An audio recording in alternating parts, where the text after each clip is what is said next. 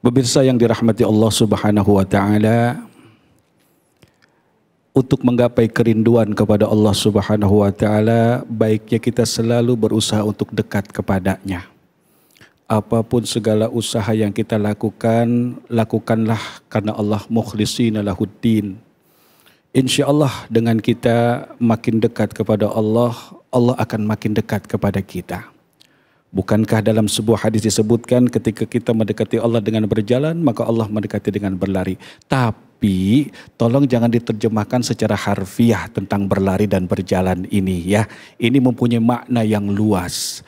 Termasuk ayat-ayat mutasyabihat seperti yadullah fauqa aidihim jangan diterjemahkan sebagai tangan ya.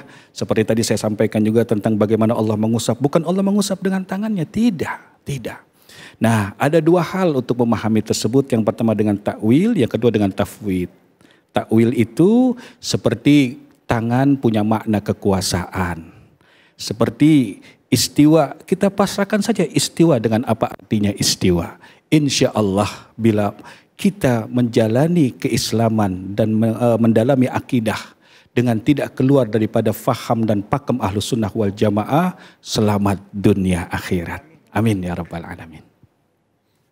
إلى حضرة النبي محمد صلى الله عليه وسلم وإلى روح الحبيب محسن بن إدريس الحامد وإلى روح الحبيب عبد الرحمن بن الشيخ الطاس وإلى روح حبيب شيخ بن أبي بكر بن سالم وإلى حضرة الرسول سيدنا محمد صلى الله عليه وسلم شاء الله لنا ولهم الفاتحة. أعوذ بالله من الشيطان الرجيم. بسم الله الرحمن الرحيم. الحمد لله رب العالمين. الرحمن الرحيم. مالك يوم الدين. إياك نعبد وإياك نستعين اهدنا الصراط المستقيم صراط الذين أنعمت عليهم غير المغضوب عليهم ولا الضالين آمين آمين يا مجيب سائل برحمتك يا أرحم الراحمين Ya Allah ya Tuhan kami, ampuni dosa kami, dosa keluarga kami, anak, istri, suami kami. Ampuni dosa pemimpin-pemimpin kami.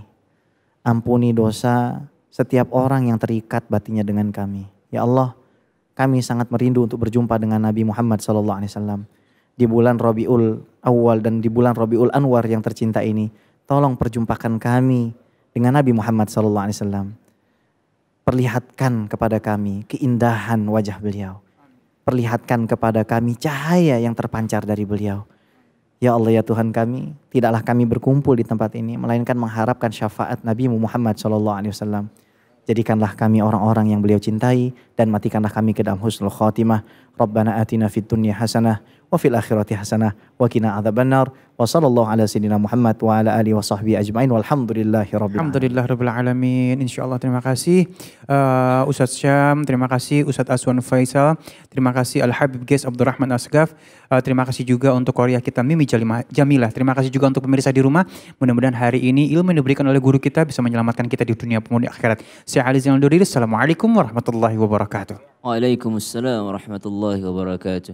لو كان بيننا الحبيب لدنا القاسي والقريب من طيبة قبل المغيب. طالبا قرب الحبيب. يا حبيبي يا محمد يا طبيبي يا ممجد أنت ذو الفضل المؤيد. جل من صلى عليه.